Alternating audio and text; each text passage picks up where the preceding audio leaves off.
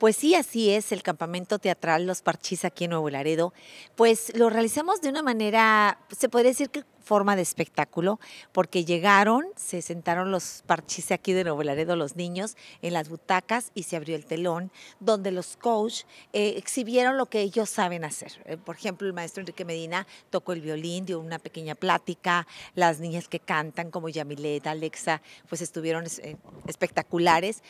Terina, Ángel con Juan Cuevas, pues actuaron, Ceci Mendoza contó un cuento, los maestros de danza también estuvieron bailando con de salón y los niños estaban muy contentos y, y luego al último se hizo una crítica porque a enseñar a un niño el arte también hay que enseñarlo a saber apreciar y también criticar cuando se debe de criticar y aplaudir cuando se debe de aplaudir. Entonces fue un, un, un trabajo muy bonito donde ya después se dividieron por equipos y ahorita ya están recibiendo clases de canto, clases de baile y clases de actuación.